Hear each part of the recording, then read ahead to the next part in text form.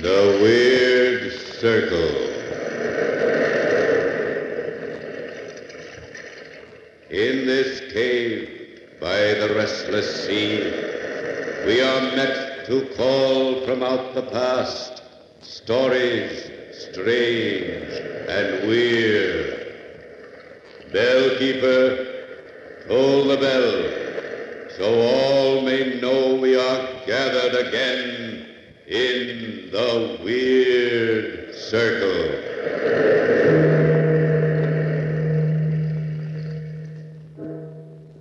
Trial for Murder. That's the title of tonight's Weird Circle story, brought to you by Ogden's. From the pen of the noted author Charles Dickens, The Trial for Murder provides excellent story material for a smooth radio adaptation. Speaking of smoothness and adaptability, you'll find Ogden's Fine Cut a smooth roll your own cigarette tobacco. And if you look for a product that's completely adaptable to the smoker's taste, well, it's simple to make smoking satisfaction come true with Ogden's. Yes, on all counts, Ogden's provides genuine smoking enjoyment. You'll find Ogden's easy to roll, delightful to smoke. Yes, easy to roll, delightful to smoke.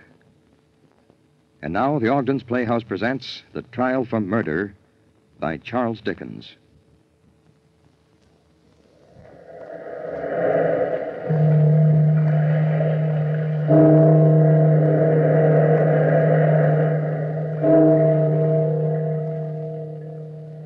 Of the past, phantoms of a world gone by speak again the immortal tale, the trial for murder.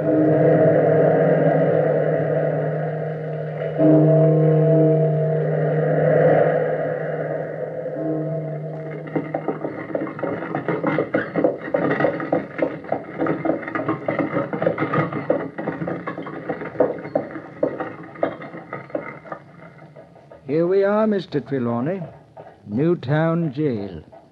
Ah, gloomy old place it is, sir. Watch your step getting out. Thank you, Derek. I can find you a place up at one of those garret windows if you like. Then you can see the hanging. Uh, no, Derek. I didn't come down here to watch the hanging of Peter Cook. Then, begging your pardon, sir, I don't understand. it's hard to explain. It's as though some strange force has urged me to come here today. I've felt it ever since the trial ended. Well, sir, I, for one, never did believe all that rubbish they were whispering about you during the trial. Supernatural powers. Mr. Trelawney can read the witnesses' minds. Why, there never was a more practical man than you, sir. As foreman of the jury, I tried my best to be fair, Derek. But I can't think back on the trial without a shudder. It was a nightmare, an ugly dream. Oh, look, sir. Yeah? The flag is up. Your Peter Cook is dead. Yes. Ah. And suddenly a great weight seems lifted from my soul. Strange. Why, I, I feel happy for the first time since it all began. Robert Blackwell has just come out of the prison gate, sir. I think he's coming over here.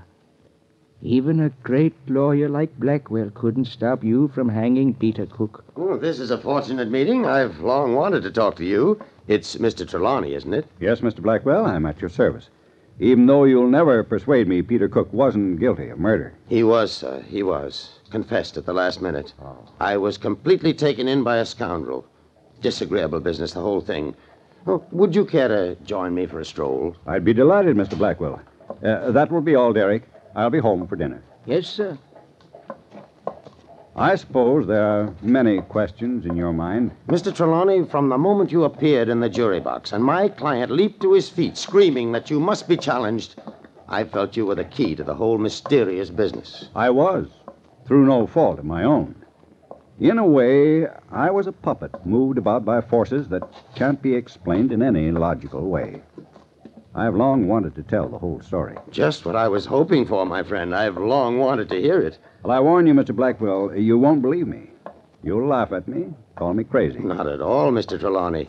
Now, here's a quiet little park. Uh, let's rest on this bench while we chat. All right, sir.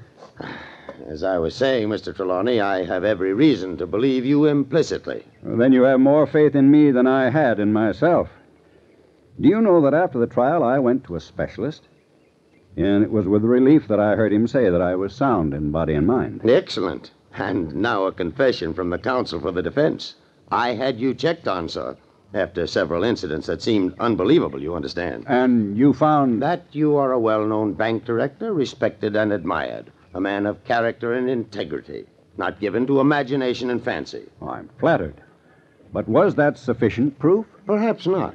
However, on four different occasions during the trial, I was startled by a sense of someone standing at my elbow. A weird sensation, a sort of a chilly presence that made the hair stiffen at the back of my neck. You may recall that during my summation, I lost my place and glanced quickly in back of me. You certainly looked startled. There was no one there, of course. Ah, but there was. It was John Talbot, John Talbot, the dead man? the man murdered by Peter Cook. I saw him frequently during the trial. But, my good man, such things don't happen. I told you you'd call me crazy, but it was as much a fact as two and two make four. And at least, Mr. Blackwell, you've given me a motive for telling my strange story. First, let me tell you that I don't follow crime stories in the daily papers. And it wasn't until much later that I discovered that this first incident took place before Peter Cook was even suspected or arrested. I was standing by the window in my apartment overlooking the park. Derek, my servant, was in the room at the time. Shall I lay out your evening clothes, Mr. Trelawney? If you will, Derek. But first, take a look out this window. Something strange going on. What is it, sir? Well, do you see that man approaching from Berkeley Street? The one with his collar turned up? Yes, Yeah. sir. He seems to be in a bit of a hurry. Well, watch the way he keeps glancing in back of him. That man thinks he's being followed. I'd say he acts a bit frightened, sir. Now, you're right, Derek. Oh, and now I see the reason. Good heavens. What a peculiar looking chap following him. Huh. No wonder he wants to get away from him. Where, sir? Uh, uh, stand over here. You can see him now, Derek. No hat, his hair blowing in the wind. He has the whitest, most unhealthy looking face I think I ever saw. I don't see him, sir. Well, you must be blind, Derek. He's practically in front of the window now. Look, look. Oh, he sees us. And he's pointing at the chap with his collar turned up. I don't like the look in his eyes, Derek. He must be a madman. Doesn't he look mad to you? I'm sorry, sir, but I don't see a soul. What's that? I don't see anyone there, sir. You must be crazy, Derek. Oh, he's moving away now, but looking back over his shoulder and still pointing.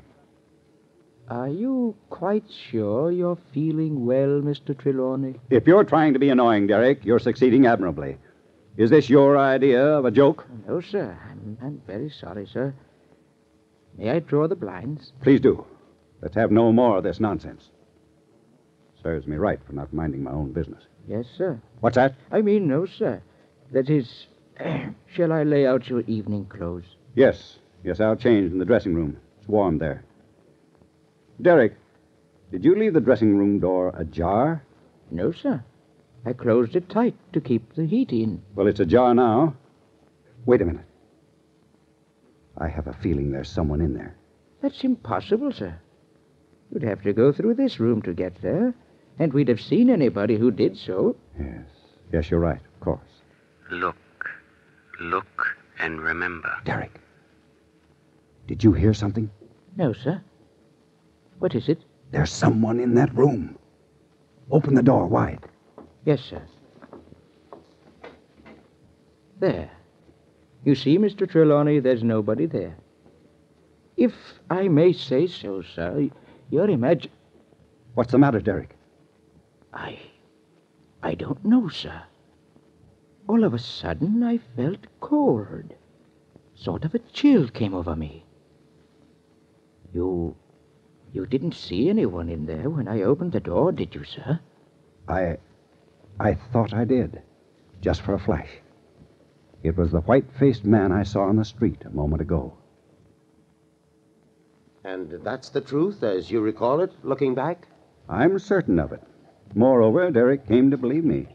That chill of death that he felt convinced him. It's odd that neither one of us connected the incident in any way with the summons for jury duty that he brought to me at breakfast the next morning.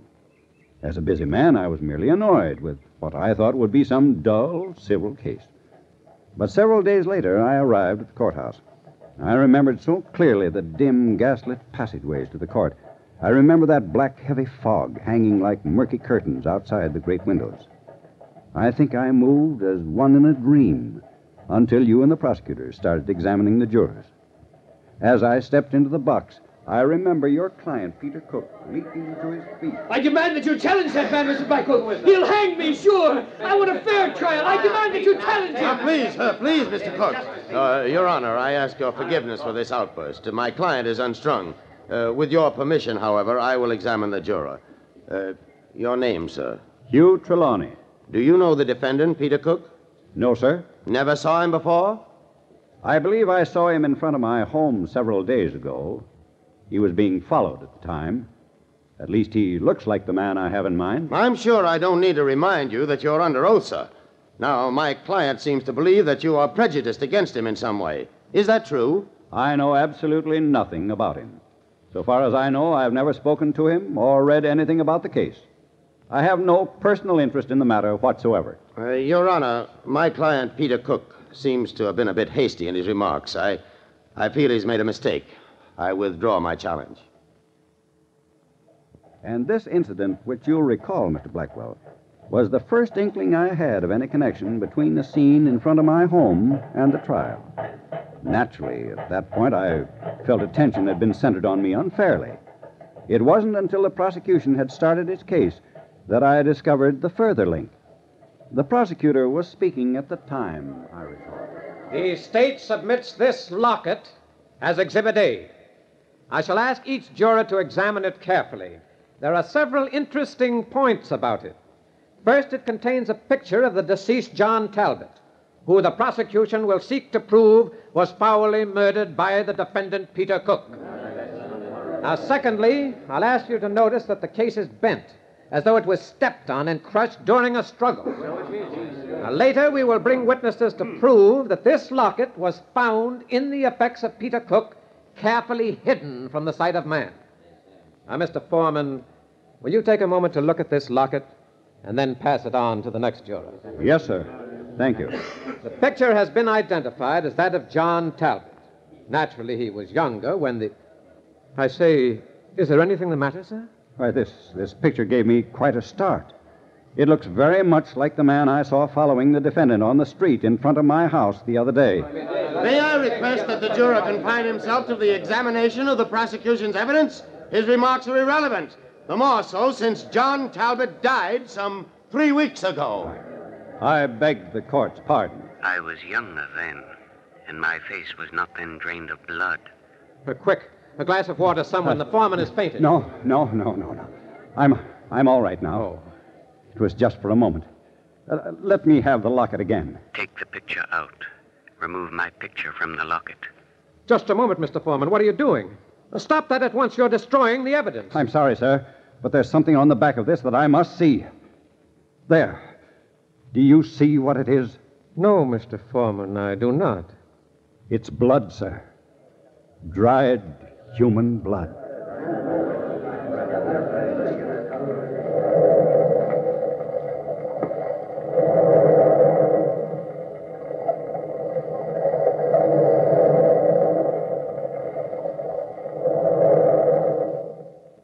In Charles Dickens, we meet a writer of many facets and strange parallels. An author with the faculty of applying his genius to all fields of plot, from a tender romantic turn to such a story as we hear tonight. The story of a juryman invested with incredible and supernatural powers of judgment. Friends, the judgment of the Canadian Roll Your Own Smokers jury regarding the excellence of Ogden's fine cut tobacco has been unanimous. Yes, ask the person who likes to roll his own cigarettes to name his choice of tobacco, and it's almost certain that his verdict will be Ogden's. You see, Ogden's has been pleasing the majority of roll your own smokers and making new friends right down through the years. Try Ogden's. Taste the rich, mellow goodness of tobaccos that are sun ripened for absolute smoking satisfaction. You'll find Ogden's easy to roll, delightful to smoke. Yes, easy to roll, delightful to smoke. Back now to Hugh Trelawney and the trial for murder. Trelawney has found that of all those concerned in the trial, he alone can see and hear the ghost of the murdered man, John Talbot. As foreman of the jury, his questions have revealed important evidence against the defendant, Peter Cook. Right now, he's explaining to the prosecutor how this mysterious voice guided the course of the trial.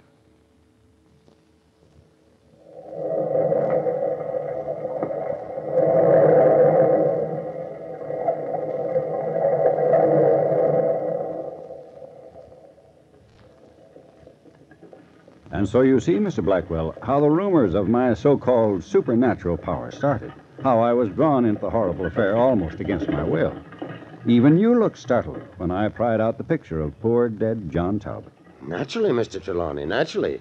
You seemed to do it without any apparent reason. Of course, the fact that the locket had been found among Peter Cook's things meant nothing.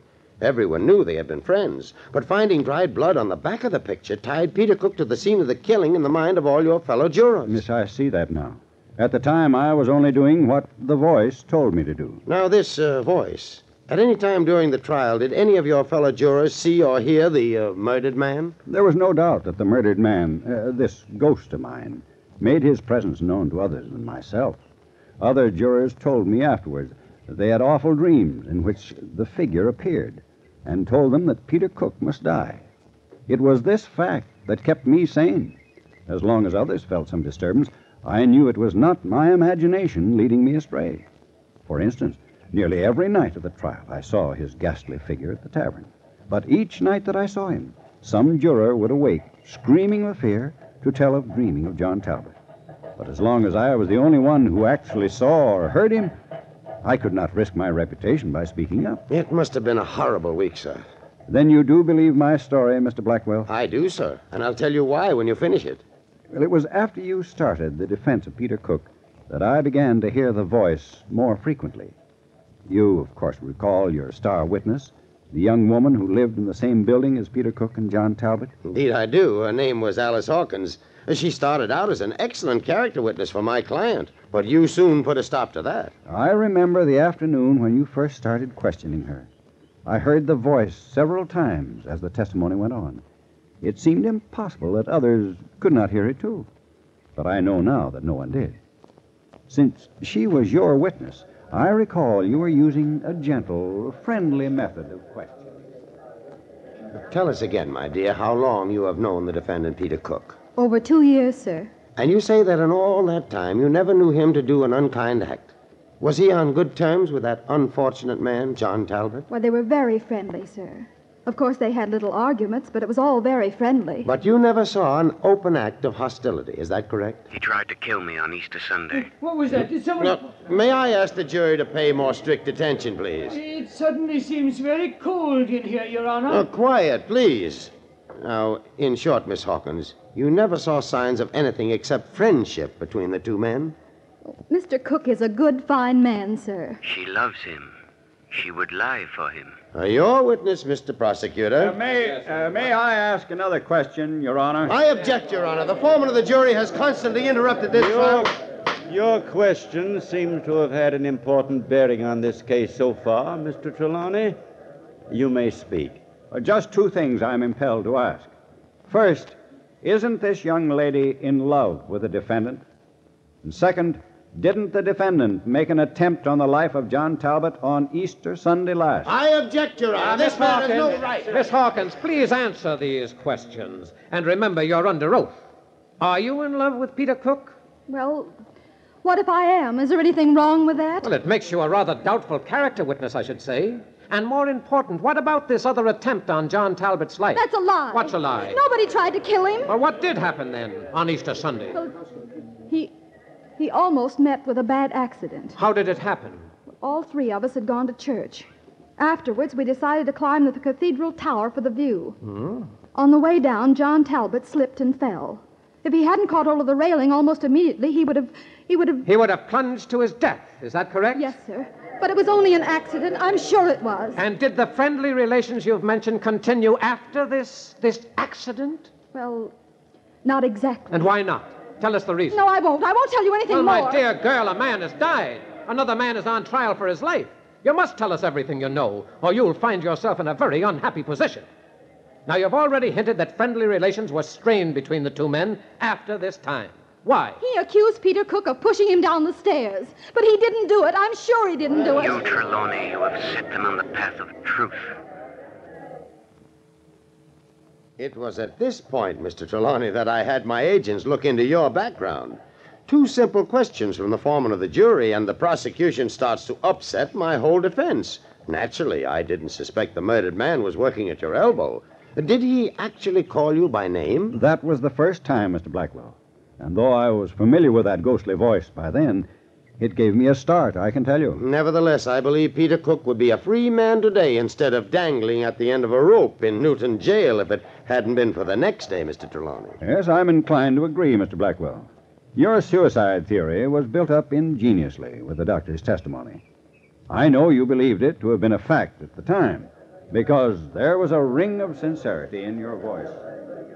You will note, gentlemen of the jury, that everything Dr. Croydon has said points to suicide. John Talbot, the deceased, was an unhappy man. He had come mistakenly to believe that his friend, his best friend, had made an attempt on his life. He knew that he had lost the woman he loved to that friend. The good doctor has shown how the wound could have been self inflicted by a man holding the razor in his left hand. We know John Talbot was left handed, and in that case, it makes it possible that he did commit suicide. Your Honor, I beg of you to let me speak. Again? Your Honor, if the foreman of the jury has deeper knowledge of this case, I ask that he be Mr. made... Blackwell, I have no knowledge of the case other than what I've heard here in this room. But I am impelled to ask that young woman, Alice Hawkins, that she be recalled and questioned further.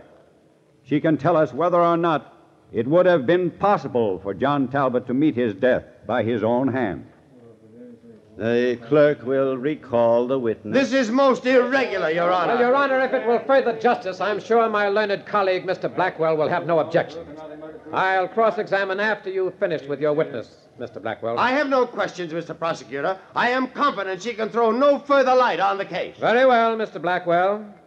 Now, Miss Hawkins, is it true that the deceased was left handed? Yes, sir, he was. He wrote letters and performed all the regular little routines of life with his left hand. Yes, sir, he did. Well, then I fail to see what the foreman of the jury. In other words, Miss Hawkins, he could have easily cut his own throat with his left hand, couldn't he? Well, speak up, my girl. No, sir. It would have been impossible. You have done well, you Trelawney. You have done well. You see, sir, it was this way. I don't think anyone knew about it but me. John Talbot was very sensitive about it. Although he was left handed, there were many things he did only with his right hand. One day he told me he had an accident while a boy, and though he could still write and use his left hand, he could never lift it above his shoulder. And so, Mr. Blackwell, as you recall, the trial came to an end. The jury withdrew to the great room in the tavern to reach their verdict. I remember the strange feeling that came over me as the discussion went on, as though I was becoming less and less Hugh Trelawney, and more and more the voice of the murdered man. The little vestryman, Mr. Jones, was the only one who was still voting not guilty. I agree, Mr. Trelawney. It couldn't have been suicide, but would Peter Cook have killed him just to keep him silent? Peter Cook has been proven a man of violent hates. Yes, I know all that. I know that he was about to marry Alice Hawkins and that he had another wife in existence. I know that the dead man had threatened to expose him, but is that enough? Always keep in mind that John Talbot loved Alice Hawkins, too. Hmm? When he found out that Cook was leading her on, his reaction would have been violent. His threat to expose Peter Cook would have caused strong hate between them. I still don't see the picture. Why, who blew out the candle? Um, light it quickly. Oh, I wish I were out of this business. You, Trelawney, talk to this man. There, there, that's better. Why couldn't they give us more than one candle? Why, why, it frightened you too, Mr. Trelawney. Why, you're white as a ghost. Listen carefully, Mr. Jones. I'll try to set the picture for you. Morning. It might have been the morning of the murder. Peter Cook came to my room. Peter Cook comes to John Talbot's room. He threatened me. He threatens Talbot's life unless he changes his mind about exposing him to Alice Hawkins. I loved her. Deeply. He loves her deeply. To hear Peter Cook speak of her lightly infuriated him. He, He tells, Peter, Peter Cook, Cook that, that he intends to reveal him as as he is, a man already married, who intends to wreck her life by this despicable trick. A man petty, mean, selfish, with murder in his heart. The room is tense with hate. The fury of frustration burns in the eyes of Peter Cook. He sees the razor near at hand. It takes but a moment. With the strength and quickness born of hate, he moves. The morning sun looks in. Looks in on the lifeless lifeless body body of John Talbot. Why, it's uncanny. You might have been there yourself. Why, your whole story, even even your voice sounded different. Yes, I can see it now. So clearly that it it frightens me. Look, I'm shivering. The very coldness of death is in the air. Let us give the verdict quickly. Peter Cook is guilty. We filed back across the street into the old courthouse. Across the street in the rain, with a growl of thunder in our ears. The dim, gaslit courtroom was deserted except for the officials and the judge. I stood in the jury box, my heart pounding, my mind reeling. Your verdict, gentlemen. Guilty, Your Honor. Peter Cook will die. You are free, you Trelawney. You are free. And my life has been perfectly natural and normal since I heard the words, You are free, you Trelawney. You are free. Strange, strange. And although Peter Cook never saw or heard this presence, he knew he was doomed from the day you stepped into the jury box. He knew he would be found guilty. He did, Mr. Trelawney. He did. In the confusion that followed the verdict, the judge and I were the only ones to hear what he had to say when sentence was pronounced. Did it have to do with, with my strange part in the trial? It convinced me that a supernatural force had been at work since the beginning. When the death sentence was passed upon him, Peter Cook said to the judge, Your Honor, I knew I was a doomed man when the foreman of my jury came into the box. I knew he would never let me off because, before I was arrested, he somehow got to my bedside in a dream one night, woke me, and put a rope around my neck.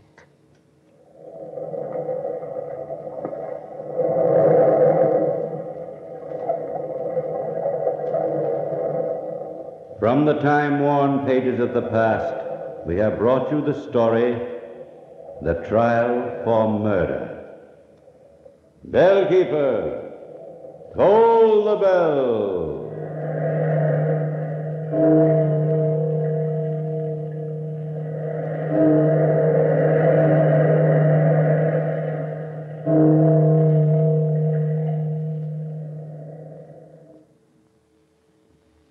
As we come to the end of another Weird Circle story, brought to you by Ogden's, here's a reminder till we meet again at the Ogden's Playhouse one week hence. There's a full week ahead during which smoking enjoyment will make your working and leisure hours brighter. If you roll your own cigarettes, make sure of getting the most out of your smoking by turning to Ogden's.